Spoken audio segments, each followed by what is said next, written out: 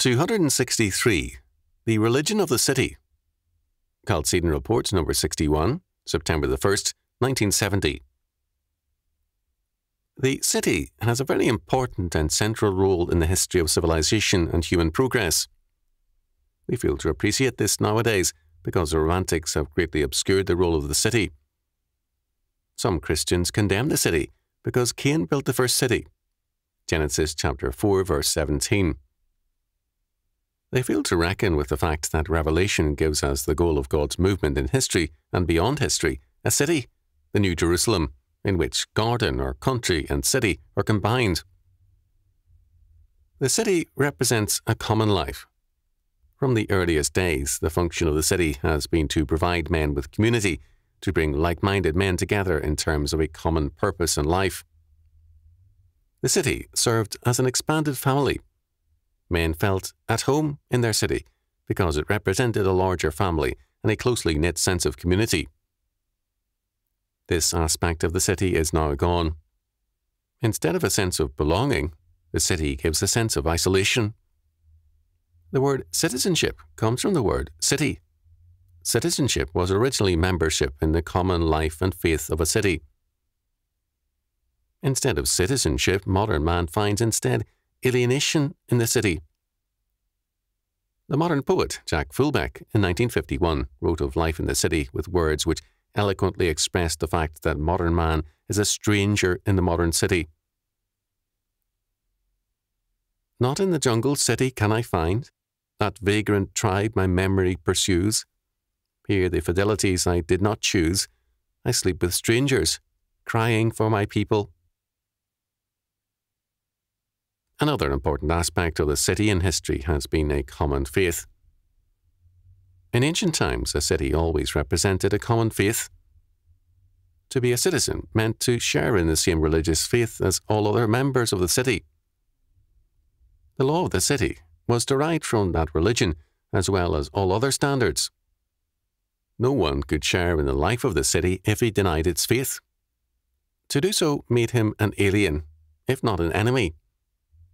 This is why it was necessary for the Christians to face persecution once they denied the city's faith, and this is why, when they conquered, the reorganized city or country had to have a religious unity. Every law and standard which binds man to man in state, school, church, commerce, and society is a product of religion. When that common faith is denied, the people of the city become strangers to one another Next, the city was man's greatest source of material protection. The city provided walls, a watch, and other men as a means of mutual defence against enemies. From ancient times, men have fled to the city in times of catastrophe as their best and surest defence. A dramatic example of this deeply rooted feeling is the eruption of Mount Pelée, a long dormant volcano, in 1902. Some time passed after Mount Pelée became active again. Rivers of lava flowed daily down the mountainside. Homes and business places were destroyed day after day. The cable to the outside world was cut by the shifting of the ocean bed. Finally, when Mount Pelée climaxed its eruptions on May the 8th, 1902, 8.02 am, 30,000 people died. The two survivors were a prisoner sentenced to death and a madman. Why didn't the people leave? As a matter of fact, people fled from farms and villages into the city, although conditions were no better in the city. Professor Roger Bordier of the Lycée of Saint Pierre summed it up thus in describing the people's attitude. They had a blind faith in the protection of the town. When the press assured them that all was well, the people were ready to believe the word of the newspaper against the sight of their eyes because their faith in the protecting power of the city was so great. It had almost become instinctive with men to believe in the city as protection. The 20th century has rapidly changed that ancient role of the city. Air war has made the city the most vulnerable area and the most practical place to attack. As a result, in World War II, Britain sent many children out of London into the country for their protection. The city in modern warfare has ceased to be the place of refuge and had become the most exposed arena of warfare. But this was not all. The new religion of the city, humanism, cannot bind man to man, and, as a result, the city has become a house increasingly divided against itself. Race and class warfare have become a part of the life of the city. Warfare has thus been introduced into the heart of the metropolis. Urban sprawl is in part due to this fact.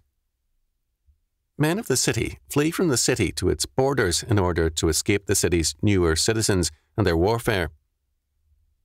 Man now feels nowhere less protected than in the city. More and more city dwellers arm themselves with guns, watchdogs, barred windows, and an alarm system. The city has become the battlefield of the 20th century. Pollution has also altered the life of the city. When, in the mid 30s, this writer had a physical examination at the university, the examining doctor said, You're from the country. Why? The dust of the farm showed in my lungs, whereas city dwellers had cleaner lungs. This, of course, is no longer true. Today, in many areas, it is the city dweller whose lungs show the effects of city life and smog. The city is also being destroyed by modern money. The stability and growth of the city and its economic life depends on good money, hard money, gold and silver. Modern paper money inflation works harm in every area of life, but especially to the city, because the life of the city is so intensely dependent upon the flow of sound money. When inflation finally debauches the paper currency, or radically adulterates the coinage, the city suffers a massive heart attack, because money is its lifeblood.